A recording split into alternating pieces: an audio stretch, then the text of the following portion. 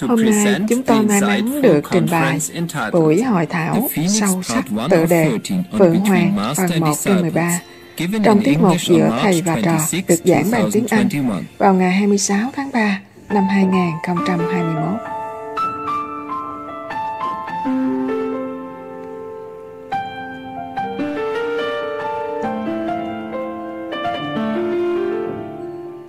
Hello, Master. Kính chào sư phụ. Alo. Chào, tất cả tốt đẹp chứ? Dạ tốt, thưa sư phụ. À, tốt. Ồ, I'm không biết sao tôi đổ mồ hôi. Quá nhiều công việc. Quý vị ổn chứ? Dạ ổn thưa sư phụ. Quý vị thì luôn sẵn sàng, dễ dàng, chỉ đeo khẩu trang, đội mũ, thế là xong. Tôi phải làm mọi việc khác, thành ra mới lâu vậy. Tự do có cái giá phải trả. Phải tự mình làm mọi thứ. Quý vị ổn hả? Dạ huh? ổn thưa sư phụ, dù sao ít ra là thế, quý vị an ổn, không có gì phải lo. Mỗi ngày chị tới văn phòng và làm những gì quý vị có thể làm. Tôi hoàn toàn đơn độc, không làm việc với ai hết, không ai quanh tôi ngoại trừ sóc và chim. Họ vô extremely cùng tử tế, vô cùng, vô cùng hiền hậu và vô cùng quan tâm bảo vệ. Họ luôn luôn đến ngay cả nửa đêm, đến và cảnh báo tôi về điều gì đó. Cho nên tôi chỉ muốn van xin tất cả mọi người trên thế giới làm ơn bảo vệ động vật, làm ơn thương họ, làm ơn đừng hại họ dưới bất kỳ hình thức nào. Bởi vì họ là thiên thần cải trang.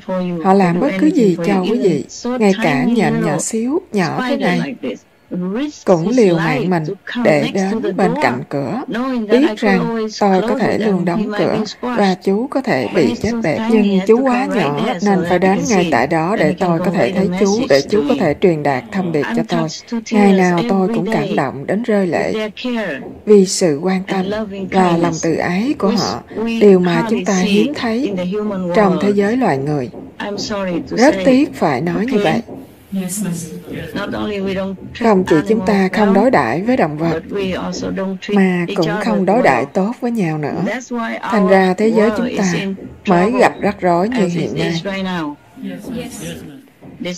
Dù với tất cả lệnh giới nghiêm, tất cả sự phong tỏa, tất cả vaccine, tất cả luật lệ, thế mà ở nhiều nơi, sự lây nhiễm vẫn tăng vọt. Họ chữa khỏi nhóm này. và rồi nhóm khác nhảy lên. Họ khắc phục được một chủng thì hai, ba, the bốn, other two, năm three, chủng four, khác lại xuất hiện, thậm chí nhân đôi. Chưa đủ tệ với một chủng, một loại virus. Chúng they just Ở Ấn Độ mới gần đây họ tìm thấy một chủng biến thể kép. Làm sao mình đối phó với điều này mãi được? Bên cạnh đó, có rất nhiều bệnh tật khác vẫn còn not thế giới, chưa được kiểm soát. Và chúng ta chữa khỏi bệnh này, thì bệnh khác sẽ nảy sinh nếu chúng ta không thay đổi lối sống của mình. Tôi không chắc chúng ta có giữ được địa cầu hoặc sống trên đó nữa không? Ồ, thật sự như vậy. Nhưng dường như không ai lo lắng về điều đó bởi vì họ không biết gì cả. Họ càng biết ít, dĩ nhiên họ càng lo ít. Và có lẽ như vậy cũng tốt. Nhưng tôi không chắc đây có phải là cách địa cầu nên kết thúc không? Quý vị không biết chứ, người ngoài họ thật sự vô cùng đau khổ. Nhất là những người bị nhiễm bệnh, những người mất việc làm, những người không có tiền, ngay cả tại Anh Quốc, một quốc gia hùng cường như thế, mà vẫn có rất nhiều người sống dưới mức nghèo khổ. Nhiều trẻ em, tôi chỉ ngay cả mùa đông, họ không dám mở máy sưởi cả ngày. Chỉ mở một lúc thôi. Và trẻ em phải mặc quần áo ấm, áo bà their và đủ thứ, phải làm bài tập ở nhà trong căn phòng lạnh lẽo. Anh Quốc trời lạnh, không như chỗ quý vị ở. Người ta đang khổ sở, động vật cũng khổ sở khắp nơi. Vậy hãy có chút cảm xúc nhé. Dạ, thưa sư phụ. Và hãy biết ơn mỗi ngày. Hmm? Dạ, thưa sư phụ. Tôi luôn luôn rất biết ơn. Luôn luôn về mọi thứ. Và ngay cả không vì gì hết ra, tôi vẫn còn ở đây và có thể làm help một số việc giúp tha nhân. Dạ, thưa sư phụ, cảm ơn sư phụ. Tôi nghe quý vị có một số câu hỏi phải không? Dạ có, thưa sư phụ. Quý vị muốn hỏi trước hay là muốn nghe truyện ru ngủ trước? Dạ, hỏi trước ạ. À. Được, hỏi đi. Thưa sư phụ, trong bản tin gần đây, tường trình rằng Tòa Thánh Vatican đang khẳng định lại lập trường của họ, chống lại hôn nhân đồng tính, nói Đức Chúa Trời không thể ban phước cho tội lỗi. Điều này đã loại trừ mọi khả năng để các cặp đôi đồng giới được ban phúc theo công giáo cho hôn nhân của họ. Thưa sư phụ, Ngài có thể chia sẻ ý kiến của Ngài về điều này không? Có phải đây thật sự là tội lỗi và rằng Thiên Chúa không thể ban phúc cho một cuộc hôn nhân như vậy không ạ? À?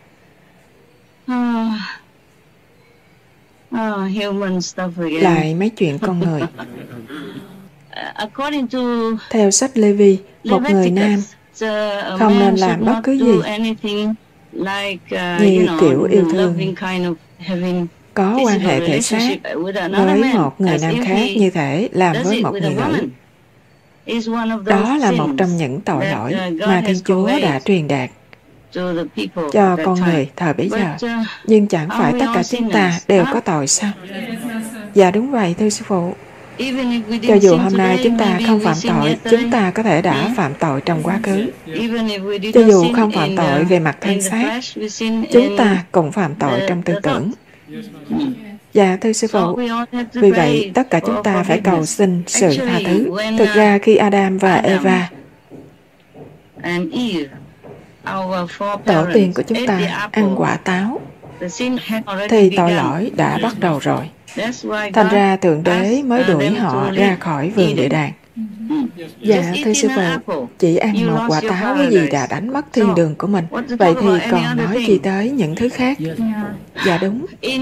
Trong Kinh Địa Tạng của Phật giáo cũng nói rằng Ngài đã quan sát các sinh linh trên địa cầu này. Bất cứ điều gì họ nghĩ, bất cứ điều gì họ làm nhất động nhất niệm đều là tội. Vậy chúng ta được xác nhận bây giờ là chúng ta đều phạm tội cả. Tất cả chúng ta đều là người có tội. Nhưng biết làm gì đây? Tôi nghĩ Thượng Đế luôn luôn tha thứ miễn là chúng ta ăn năn và khiêm tốn trong tâm. Hôn nhân giữa hai người không chỉ là về khoái cảm thể xác hay tình dục Tôi thường xấu hổ khi nói về chữ đó, nhưng bây giờ đã lớn tuổi. Tôi nghĩ không nên ngại ngùng như vậy nữa. Hôn nhân không chỉ là về tình dục, mà còn về tình tri kỷ, về tình bạn. Đó là về sự hỗ trợ lẫn nhau trong lúc vui cũng như lúc buồn. Theo nghĩa này, những người cùng giới, chẳng hạn đồng tính nữ hoặc những người đồng tính nam, họ có thể kết hôn. Uh, Và vấn đề là do nội tiết tố sôi sục bên trong họ, đôi khi khiến họ có những quan hệ thể xác mật thiết hơn. Dạ, thưa sư phụ, nhưng sau một thời gian dài, sau nhiều năm, họ giảm dần. Sau một thời gian, như nhiều cặp vợ chồng đã kết hôn, họ già tới hơn 90 tuổi, 100 tuổi, họ không còn bất kỳ gần gũi xác thịt nào nữa.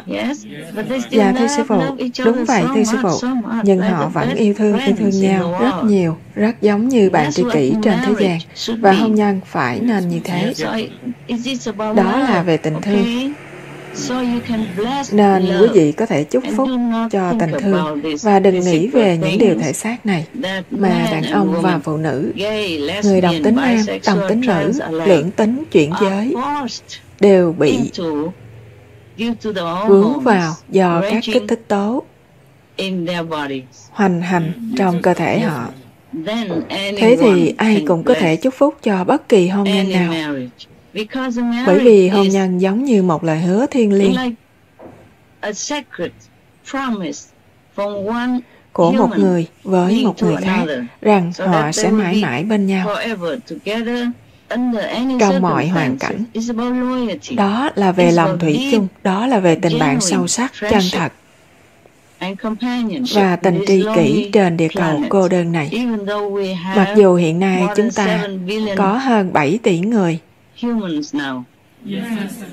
Dạ thưa sư phụ, are nhưng chúng ta vẫn là một người cô đơn. as a human. So, uh, Nên I tôi nghĩ think nếu tôi được quyết định, it was up to me, I would bless tôi them sẽ chúc phúc cho họ. because they love Bởi each vì other. họ thương nhau. And love is important. Tình thương mới là quan trọng. Bất cứ gì khác đều là tác dụng phụ. Giống như quý vị uống thuốc, because you need bởi it. vì mình cần nó. Otherwise, Nếu you không thì or sẽ you chết hoặc sẽ mệt mỏi daily mỗi ngày với căn bệnh này. Nên quý vị uống thuốc có với tác dụng phụ này. Thế nên lời chúc phúc là để cho cặp đôi hạnh phúc. know, mm. Và cảm thấy yên tâm rằng hôn nhân của họ, lòng thủy chung của họ đối với nhau, tình thương và sự cam kết của họ với nhau được are chia sẻ với người khác và được chứng and kiến và công nhận. và hạnh phúc cùng họ. Dạ that's thưa sư why phụ, thành ra những người kết hôn tổ chức tiệc tùng lớn và đủ thứ để họ có thể chia sẻ hạnh phúc của họ với những người uh, khác. Nếu tôi là một giáo sĩ, them tôi sẽ chúc phúc cho họ. và uh, nhân dịp này giảng thuyết cho them họ uh, về bổn phận đạo đức, về abstinence khem thú vui thể xác, indulgence as much as possible, càng nhiều càng about tốt, charity, về từ thiện, about về khai ngộ, về phước lành của Thượng about Đế và về lời cầu nguyện và khiêm tốn, etc., vân vân, vân It vân. would be Như useful for thế them. sẽ hữu ích cho họ. And whatever sin Và bất I cứ tội lỗi nào tôi sẽ nhận lấy. Dù sao tôi cũng là I người có tội. Tôi than không anyone cảm thấy else. mình tốt hơn bất cứ ai khác. Just as Jesus Giống như said, Chúa Giêsu đã nói, ai trong số các ngươi chưa bao giờ phạm tội thì có thể ném đá vào người phụ nữ bị lên án là có tội. Dạ, và không ai ném bất kỳ viên đá nào. Okay? Yes, Master. Dạ thưa sư phụ, có lẽ Thượng. Đế đã nói rằng người không nên làm điều này, người không nên làm điều kia, nhưng chúng ta đã làm mọi thứ rồi và chúng ta vẫn còn làm. Thế nên bit thêm một chút với cặp đồng tính nam hoặc cặp đồng tính nữ thì có gì đâu. Hãy để cho họ được hạnh phúc, chúc phúc cho họ. Quý vị không nghĩ thế à? Dạ có thưa sư phụ, đúng vậy. Và có thêm một đôi hạnh phúc thì thế giới là nơi hạnh phúc hơn. Ít ra đây là những gì chúng ta có thể làm. Chúng ta không thể làm gì để khiến họ hạnh phúc vì đó là đời họ. Nhưng chúng ta có thể chúc họ hạnh phúc. Và chúng ta có thể nói, chúng tôi chúc phúc cho hai bạn và Thượng Đế, cho dù Ngài không đồng ý với điều đó, ồ, đó là chuyện của Ngài. Don't you think Quý so? vị không nghĩ vậy sao? Dạ đúng sư phụ.